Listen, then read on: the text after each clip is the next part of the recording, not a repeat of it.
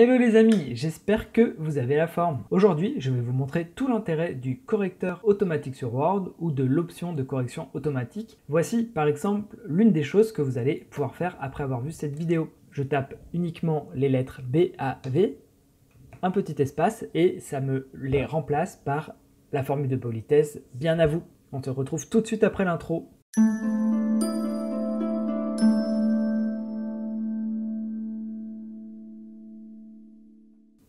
Nous nous retrouvons donc aujourd'hui pour parler de correction automatique sur Word. En fait, il y a deux choses que j'aimerais vous montrer dans cette vidéo. La première, c'est comment corriger vos problèmes de dyslexie ou de frappe qui sont récurrentes en fait. Comment dire à Word automatiquement, si j'inverse ces deux lettres tout le temps sur ce mot-là, corrige-le moi automatiquement, je sais que je fais tout le temps cette erreur. Et la deuxième chose, c'est ce que je vous ai montré avant l'introduction, c'est comment améliorer votre finalement prise de notes en remplaçant un groupe de lettres par un mot ou un groupe de mots. Pour l'exercice, imaginons que nous écrivions la phrase suivante.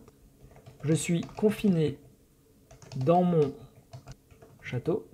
La première chose, est-ce que vous avez vu que l'accent s'est mis automatiquement sur le A?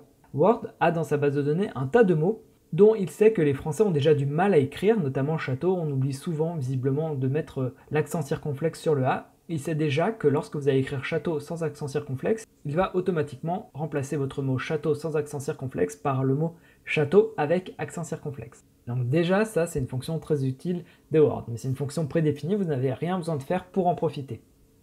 Je reprends ma phrase. Donc, virgule, au bord de la mer. Est-ce que vous savez comment on écrit Méditerranée? Moi, j'ai toujours galéré un peu. On va l'écrire comme ça. Méditerranée avec deux R et deux N. Alors normalement, je crois qu'il n'y a uniquement que deux R et que toutes les autres consoles ne sont pas doublées. Là, vous voyez que Word me le souligne. Ça, je ne vous fais pas l'affront, je pense que vous savez que Word a un correcteur automatique et que lorsque vous faites une faute, il va vous souligner le mot pour vous dire, bah voilà, le mot il est faux. Si vous faites clic droit, il vous propose plusieurs propositions de correction. Et je pense que la première correction est celle qu'il me faut.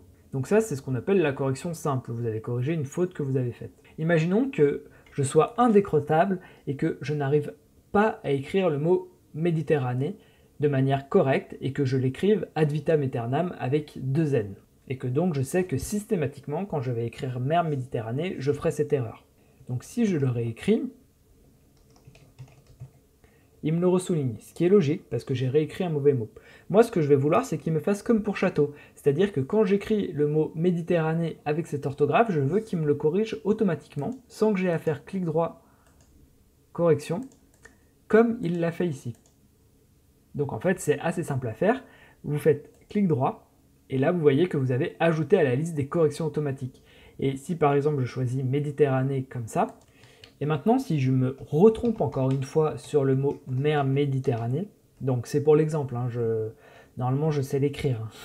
Donc là vous voyez je l'ai mal écrit, je vais faire un petit espace pour continuer ma phrase, et là il me le corrige automatiquement. Il m'a enlevé le N en trop. Mais là il me dit qu'il y a une petite faute d'accord, honte à moi. Au bord... Ah oui non, il manque le 2. Ouais, il est fort. Hein. Bon bref, vous l'aurez compris, Maintenant, il me corrigera le mot Méditerranée à chaque fois que je l'écrirai mal. Word me permet donc d'être moins un boulet que ce que je le suis réellement. Bon, blague à part, cette fonction elle est très utile, notamment pour les gens qui sont dyslexiques et qui peuvent en fait rien faire contre les inversions de lettres ou de syllabes qu'ils peuvent potentiellement faire lorsqu'ils écrivent rapidement. Avant d'attaquer la partie la plus intéressante de cette vidéo qui va vous permettre de faire des choses comme celle-ci, j'aimerais vous encourager à mettre un j'aime à cette vidéo et sachez que je fais plein de vidéos du même genre sur Word, sur d'autres logiciels de la suite Office, sur Windows. Et donc, je vous encourage à vous abonner. Moi, d'une part, ça me fera immensément plaisir.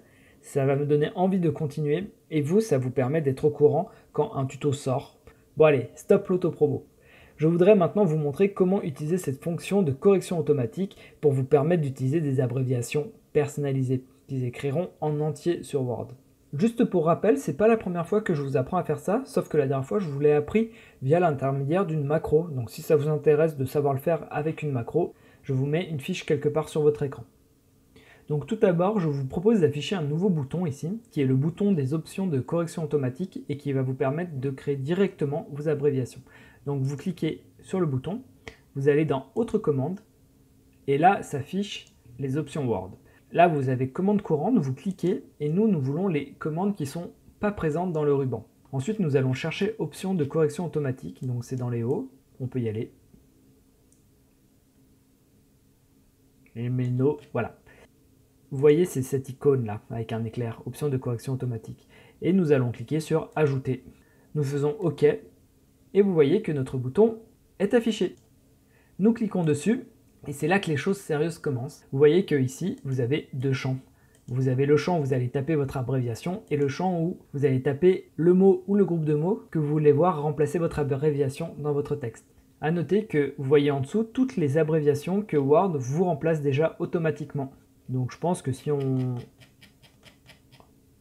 on cherche, on peut retrouver notre mot château de mon exemple de tout à l'heure. Le voilà. Donc vous avez vu? Vous pouvez supprimer si vous voulez plus qu'ils vous mettent le, H sur le chapeau, mais bon bref, je ne vous le conseille pas. Donc imaginons que vous soyez étudiant en sciences ou que vous travaillez dans les sciences et que vous utilisiez très souvent l'expression CCQFD. C'est ce qu'il fallait démontrer. Dans le premier champ, vous allez taper CCQFD, ce que vous, vous allez réellement taper dans Word.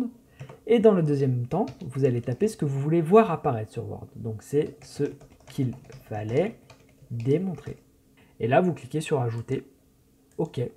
Et normalement, ce n'est pas plus compliqué que ça. Si vous tapez CCQFD et que vous faites la barre d'espace, il vous remplace votre CCQFD par c'est ce qu'il fallait démontrer.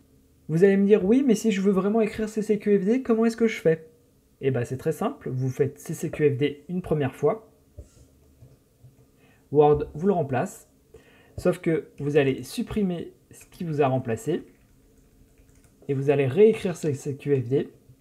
Et là, vous voyez que Word ne vous le remplace pas. Parce que Word, il a compris que vous vouliez vraiment écrire CCQFD. Il va pas se battre avec vous jusqu'à ce que vous abandonniez l'idée d'écrire CCQFD.